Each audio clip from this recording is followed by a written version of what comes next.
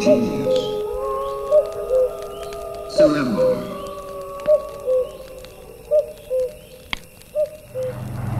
Genius. The real artists are Giotto and